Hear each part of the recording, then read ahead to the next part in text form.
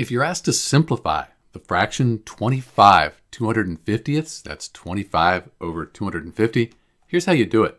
What we want to do is find another fraction that's equivalent to 25 divided by 250. It has the same decimal value. It's just that we've simplified or reduced it down to lowest terms.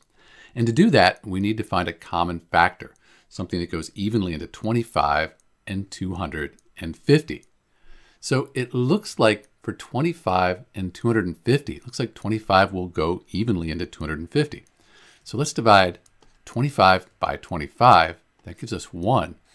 And 250 divided by 25, that is 10. So we've simplified the fraction 25 250ths down to 1 tenth. You can't reduce this any further. These have the same decimal value, 25 divided by 250 or 1 divided by 10 they both equal 0.1. It's just that we've simplified 25 250ths down to 1 tenth, and that is in lowest terms. This is Dr. B. Thanks for watching.